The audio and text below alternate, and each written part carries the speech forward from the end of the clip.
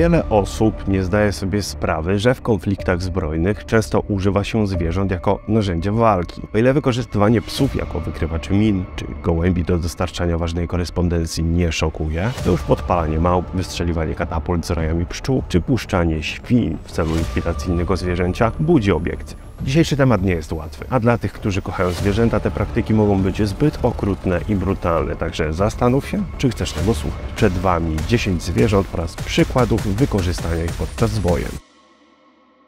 10. Pszczoły. Większość ludzi nie lubi pszczół, a ich dźwięk powoduje momentalny niepokój i czujność. Przez całą historię ludzie unikali urządzeń owadów. Dlatego po wynalezieniu katapult szybko pojawił się pomysł, by wprowadzić użycie uli jako broni wojennej. Ule były katapultowane z jednego okrętu na pokład innej jednostki lub na mury miast. W XIV wieku wynaleziono urządzenie przypominające wiatrak, na którego ramionach znajdowały się roje, które były wystrzeliwane w kierunku przeciwnika, skutecznie obsypując wrogie oddziały bardzo złośliwymi owadami. Numer 9. Szczury. W przeszłości Brytyjczycy wykorzystywali szczury w roli broni wybuchowej. W jednej z misji agenci Special Operatives Executive zlecili laboratorium dostarczenie 100 szczurów, które miały być wypełnione materiałem wybuchowym. Oczywiście szczury były martwe w momencie napychania ich środkami wybuchowymi, a następnie zszywane. Plan zakładał umieszczanie szczurów bomb w pobliżu kotłów węglowych. Kiedy były odkrywane, naturalną reakcją osoby obsługującej kotłownię było wrzucenie ciała szczura wraz z węglem do pieca. W rezultacie kotłownia wysadzała się w powietrze, niszcząc znaczącą część budynku. Numer 8. Skorpion. Każdy, kto mieszka w pustynnym klimacie w pobliżu skorpionów, wie jak bardzo uciążliwe mogą być te małe pajęczaki. Urządzenie skorpiona jest bardzo bolesne. Może powodować problemy z nieregularnym oddychaniem i biciem serca, ale poważniejsze skutki uboczne są rzadkie, choć oczywiście możecie to zabić. W II wieku rzymski cesarz Septimus Severus oblegał Mezopotamię. Kiedy dotarł do miasta Hatra, próbował ze swoimi wojskami przedostać się przez mury twierdzy, ale musieli oni uznać wyższość nietuzinkowej broni czyli glinianych koszy wypełnionych skorpionami.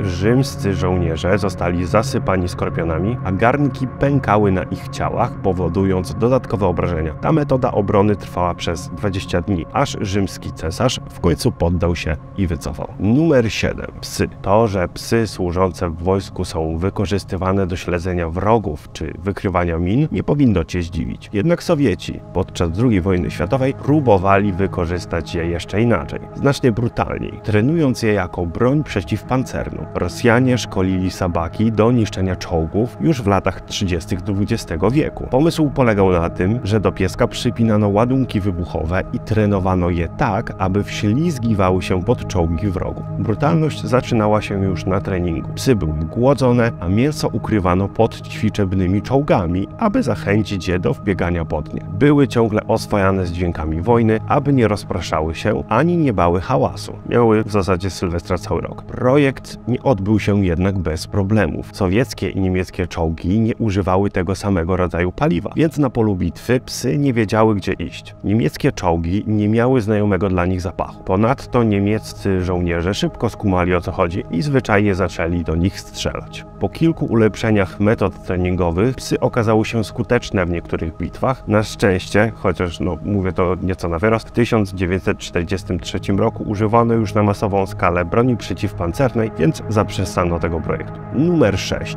Nietoperze. Ta historia brzmi jak scenariusz filmu sensacyjnego. Pewien pensylwański dentysta zaproponował podpalenie Japonii. Do tego celu chciał wykorzystać tysiące nietoperzy. W 1941 roku Lytle Adams przekonał rząd USA do swojego szalonego planu. Po ataku na Pearl Harbor Adams padł na pomysł, żeby małe urządzenia zapalające zostały przymocowane do nietoperzy, a następnie uwolnione nad miastami w Japonii. Nietoperze miałyby dostać się do strychów i pod okapy budynków, gdzie urządzenia zapalające zostałyby zdetonowane. Pomysł Adamsa miał jednak wiele problemów. Transportowanie i uwolnienie nietoperzy okazało się problematyczne. Projekt przyniósł wiele niepowodzeń, a nawet doprowadził do pożaru całego hangaru lotniczego. Po wydaniu 2 milionów dolarów projekt został anulowany. Numer 5 Delfiny. Delfiny poza zwiększonym popędem seksualnym są też bardzo mądre, co człowiek wykorzystał oczywiście do własnych celów wojskowych. W 2016 roku rząd Rosji ogłosił publicznie, że poszukuje pięciu delfinów bojowych, które chciałby kupić. Wymagano, aby delfiny były fizycznie nieuszkodzone i miały doskonałe zęby. Kraj ten wykorzystywał delfiny do różnych celów wojskowych od czasów zimnej wojny. Wówczas stosowano je do wykrywania okrętów podwodnych i flagowania min. Rosja nie jest jedynym krajem, który chciał i wykorzystywał delfiny w czasie wojny. Amerykanie już od 1960 roku szkolili delfiny żołnierzy. Program szkoleniowy dla ssaków morskich marynarki wojennej posiada 85 delfinów z San Diego w Kalifornii. Zwierzęta wykrywają miny podwodne, w tym te, które są ukryte na dnie oceanu. Potrafią odkryć obecność wroga w wodzie i ostrzyć wojsko o nadchodzącym ataku.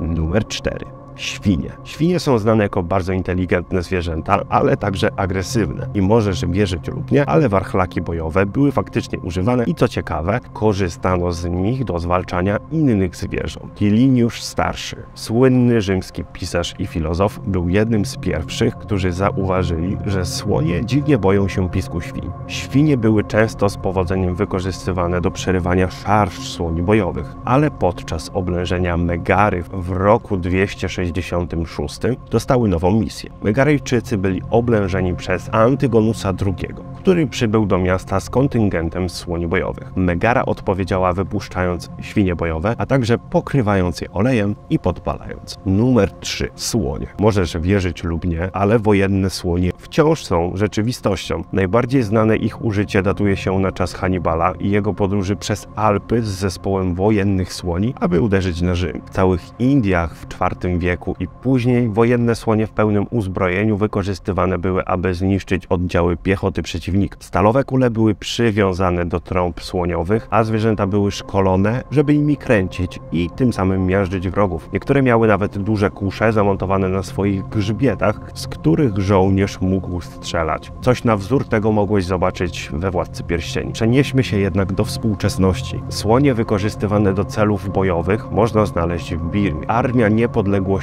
to grupa sił rebelianckich, która używa tych zwierząt w swoich praktykach partyzanckich. W 2012 roku mówiono, że mieli około 40 słoni. Armia funkcjonuje w głębokim lesie, gdzie pojazdy mechaniczne nie mogą dotrzeć. Większość słoni używana jest jako zwierzęta pociągowe, ale śmiało można je uznać jako broń, ponieważ mają także drugie zastosowanie. Trzyma się je z dala od bezpośredniego starcia, używając jako broń psychologiczna. Dźwięk trąbienia słonia w lesie, zanim zostaniesz zaatakowany, przez żołnierzy z bronią palną, to coś, co wytrąca z równowagi praktycznie każdego. Numer 2. Nosorożec. W przeciwieństwie do dobrze udokumentowanego słonia bojowego, zastosowanie nosorożca jest trudniejsze do ustalenia. Przede wszystkim problematyczny jest fakt, że nosorożce są niezwykle agresywne i odporne na szkolenie. Słonie można do pewnego stopnia udomowić, ale tego samego nie można powiedzieć o nosorożcu. Istnieją jednak rozproszone w historii doniesienia o istnieniu nosorożców wojennych.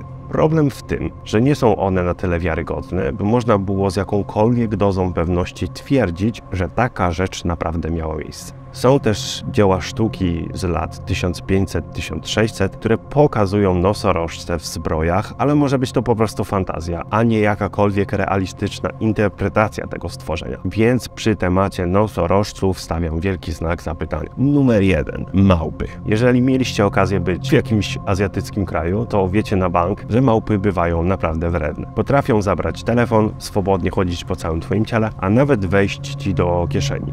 Wyobraź sobie, że właśnie tak wścibskie zwierzęta wykorzystywała chińska armia cesarska za czasów dynastii Song. Podczas bitwy z rebeliantami z prowincji Jęczą armia uciekła się do podpalania małp, a następnie puszczania ich w obozie rebeliantów, gdzie biegały w amoku, podpalając wszystko dookoła. Tak więc żołnierze nie tylko mieli dezorientujące doświadczenie radzenia sobie z płonącymi bojownikami, ale prawdopodobnie musieli również radzić sobie z panicznym krzykiem płonących małp. I według to jest najbardziej przerażająca taktyka walki, jaka pada w tym materiale. A teraz zapraszam Cię do mojego filmu o pięciu ekstremalnych metodach tortur, które stosowano jeszcze całkiem niedawno. Kliknij tutaj w ten ekran, aby zobaczyć materiał. Zdrowego tygodnia, trzymajcie się, na razie, hej!